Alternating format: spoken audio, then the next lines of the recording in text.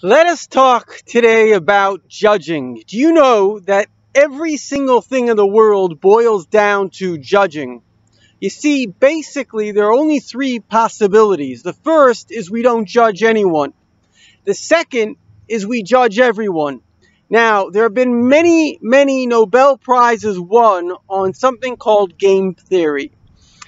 Game theory, effectively, if you had to boil it down into more Jewish mysticism terms, it boils down to either we judge everyone, and that's really a defense mechanism, as well as an anger, jealous, hate mechanism. You know, it's amazing that the people who are actually the greatest evil people, Hitler being the best example, but even the radicals, whether it's a very radical right or radical left group, the people that use the worst means to achieve their ends are the ones that judge everybody the most unfavorably. Because when we are judging another, we are not really the judge. We are really the executioner.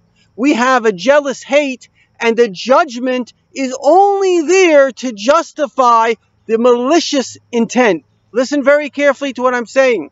The judgment is not the reason why we are doing the evil we are doing. We are doing the evil because we are jealous of the person. We are jealous of their love.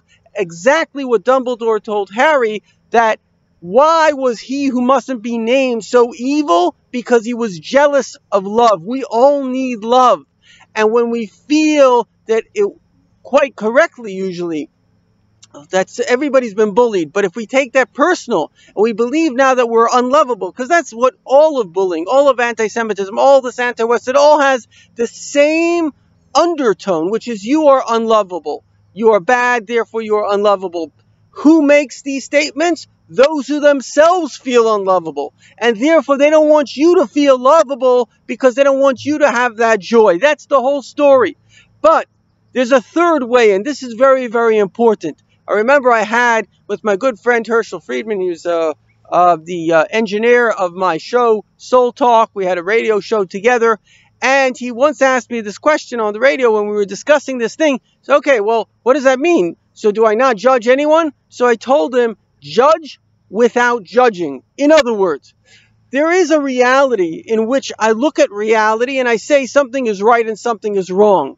It doesn't mean that I'm coming from a perspective of hate. And that's where you can tell the difference. For example, one of the very famous teachings the Baal Shem Tov said, and in fact, Jung, whose teachings came from the Baal Shem Tov, his whole thing is about mirrors. The Baal Shem Tov said that every single human being is your mirror. You know, whatever you see in someone else, whatever you see in the world, sometimes I even do this exercise. If I want to know myself, I say, what are people like? And if I come up with a negative, that is my negative because why would I even think that? Why would I say that? Let's say a person is a thief. He thinks everybody's a thief. Let's say a person's a kind person. They think everybody's a kind person. So the point is, if you have a negative judgment call on others, that is actually something that you have in yourself. You are subconsciously denying it. You are seeing it others both because you are afraid of it and you are generally anxious usually and therefore jealous and therefore destructive. But, and here's a very important but, that doesn't mean that we always are in a negative state if we are judging.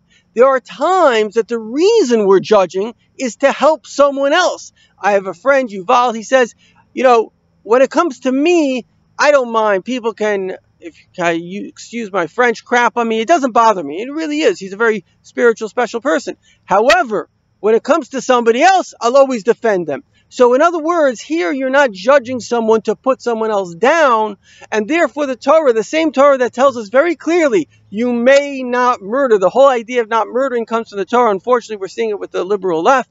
Any radical group, basically, that doesn't have a biblical foundation of right and wrong, so they very quickly become into we're right, they're wrong, we can get rid of them. However, and this is a very, very important however, when an individual has true love in their heart, so the same love in your heart creates that you hate those that are